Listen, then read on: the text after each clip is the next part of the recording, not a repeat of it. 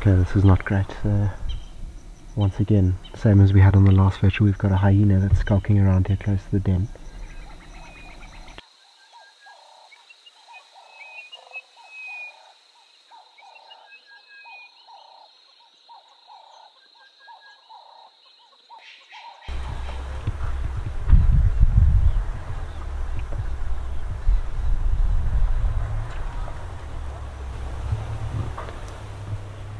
So what a fantastic start to the new episode of the Virtual Safari. We've come back to our, to our leopard den and we've got one of the cubs here lying on the most picturesque branch. Still so chilled and so relaxed and again what a privilege to be in the company of such a beautiful little cat. I mean how can you not love that little face? So I believe the other one is around here somewhere so we're going to try and see if we can get another one. On the last episode we only got one cub so hopefully this afternoon we'll get the second one.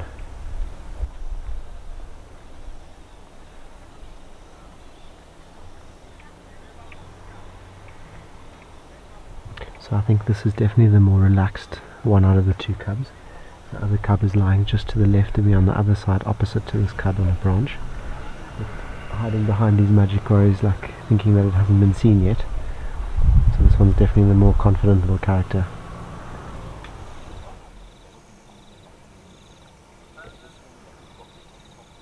So yeah, we finally have another view of the cup. just looking towards us now. A more shyer one.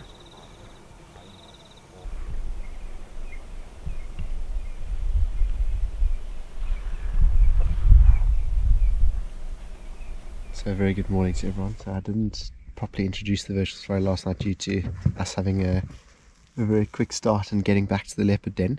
But we're back this morning. Um, we've given everyone else a chance to go in first and we've come back last.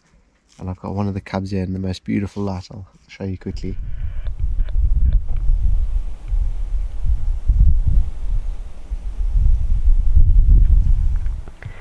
So this little cub has come back onto the log again. I think it's the same one that we had yesterday. So chilled that we must be about, I'd say, close to 10 meters away from this little cub lying on the log and it's so beautiful and it's amazing how relaxed they are. I really hope that they can just keep being relaxed and hopefully take these good interactions with vehicles and remember them and give us some good sightings in the future. And obviously, I don't think we can name them now. They are still very young and there's a lot of trials ahead of them. So I think hopefully with time they'll get older and they'll survive.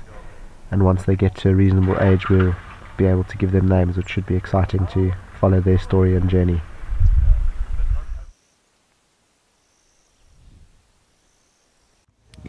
So as the mornings progress, the little cubs have gotten a bit more confident and come out more.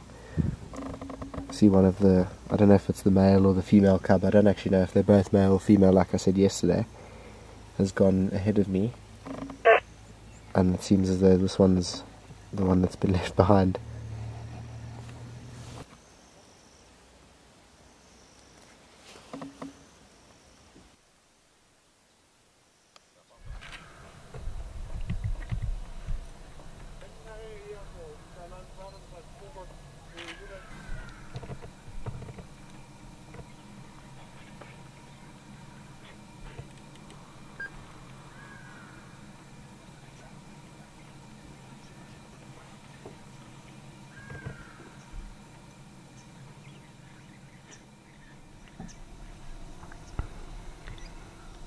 So again a really beautiful afternoon spent with these two cubs.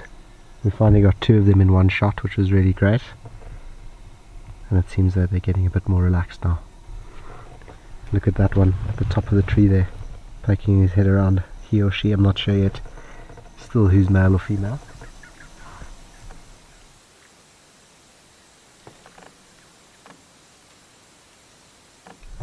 Okay, this is not great. Uh, once again, same as we had on the last virtual, we've got a hyena that's skulking around here close to the den. Just walking around, this little leopard is very alert and can obviously hear it walking behind me. These little leopard cubs are definitely going to, no, don't walk towards it. Okay, the hyena's coming here next to me, hopefully this little leopard just knows what's going on and can bolt. Okay, stay still, little cub. Just stay there. The other one should be fine on the top of that log, but this hyena is now walking straight towards this cub. The best thing this cub can do is just lie low and hopefully wait for the right moment to flee up a tree. I don't see many, but I'm sure their instinct will kick in.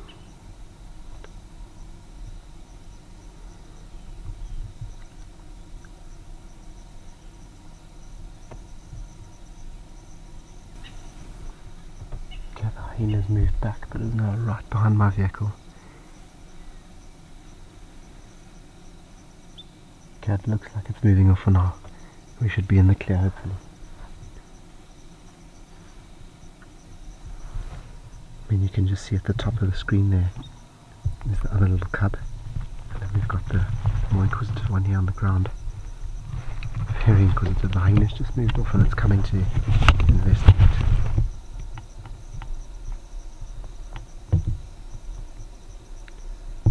Okay, so this one looks like, if I'm not mistaken, a little female. So I personally think it was the little male that we had the other day out of the two that first appeared on the virtual safari and we had the incident with the hyena and I thought that this one was a bit more shy. It turns out I think this one's just had to get a bit used to our presence. I mean look at this little cat.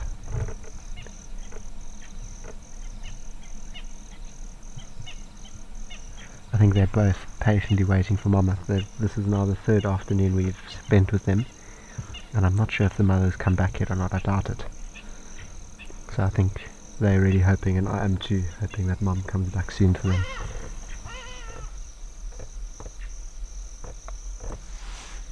So we are out this morning. We briefly went to check the leopard den of the two cubs. Unfortunately, they have moved on. Um, it was fun while it lasted, let's put it that way. But uh, yeah, once again, I've said enough about that sighting. But now we've got another leopard, which is really, really fantastic for us, but strange in terms of how the leopards have just come out of nowhere these days. Um, and it looks like it's Siseka. Um, she's not here at the moment. There was a brief visual of her last night on the kill. Um, she's got an impala kill up in this tree hoisted here.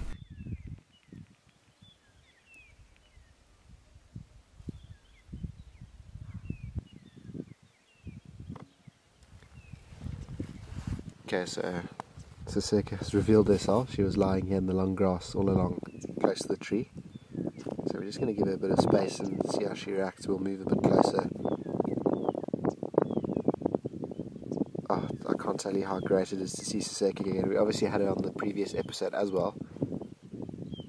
But just to have another bit of constant sightings of her is great. I mean, we went I'd say close to two months without any visual of her and just not knowing if she was still alive or if she'd gone to have cubs.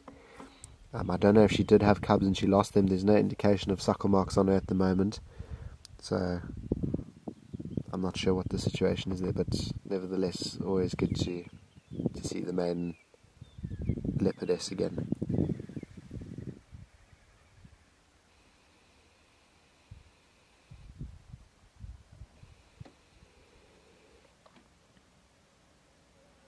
and we've decided to go all the way up north to Skybeds Dam. We haven't been up here for a while um, due to the fact that the Mbiri Pride, I think, were reportedly seen on the Kruger boundary in this area yesterday, and um, can kind of believe why they're hanging around here. Have a look at this massive herd of buffalo here at Skybeds. You can just see them in the distance there. The sun's starting to go down. There's a few dagga boys in front of me and the sound was just incredible. Uh, I'm really hoping the Mbiris either pull in this afternoon or tomorrow morning. We'll come back and see if there's any action. But um, this has been one of the bucket list things to see a big herd of buffalo like this at Skybeds Dam. So let's have a look.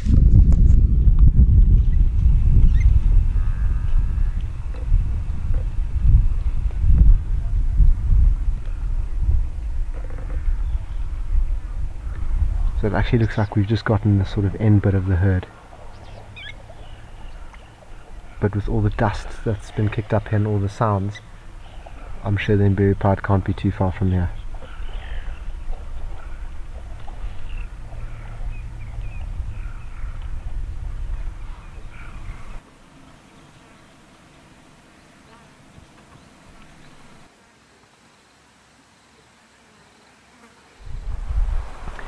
Okay, so this is a, a surprise on the virtual safari. We didn't go out this morning due to it being so windy. We thought the wind had dropped down, but it's still quite windy as you can hear. But now we've come north back up to Skybeds again. A big breeding herd of buffalo still around Skybeds Dam. And uh, the reason why we came here was for this particular pride of lion, which I believe to be the Skorro Pride.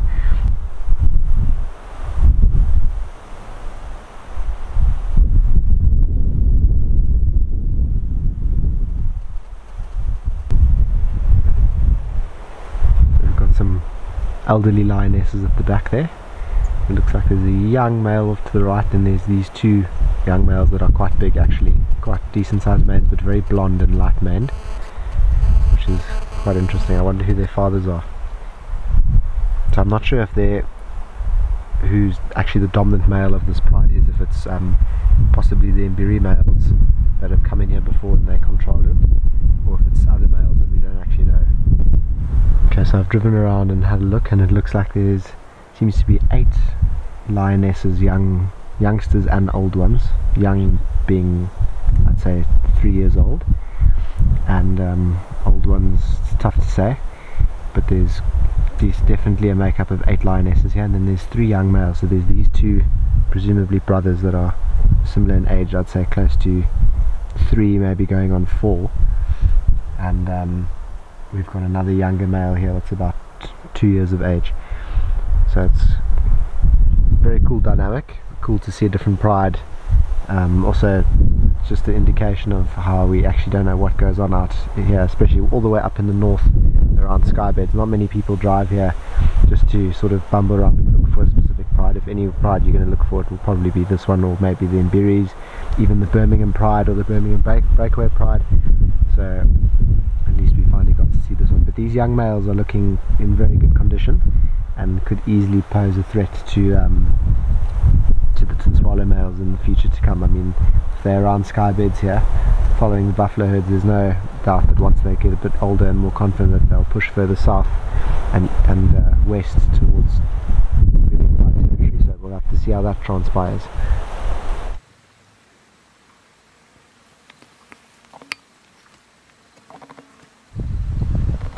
Okay, so that brings this virtual safari to an end. It was really great to see the Skorro Pride for the first time for myself, and I think also for the first time on the virtual safari. Good to good to have some new faces and hopefully some new characters. And um, I'd say the main highlight, obviously, is those two new little leopard cubs. Hopefully, they stick around, make it to adulthood, and give us some good sightings in the future. And then also really great to catch up with Siseka and see that amazing big herd of buffalo. So we're going to leave the Skorro Pride now to rest for the day. It is around one o'clock in the afternoon, and uh, we might, to start off a new episode, come back here and um, hang around Skybeds Dam the next few days and see if they try and kill a buffalo or two. And, um, that should be really interesting if that does transpire. But anyways, I hope you all enjoyed that one, and we'll see you on the next one.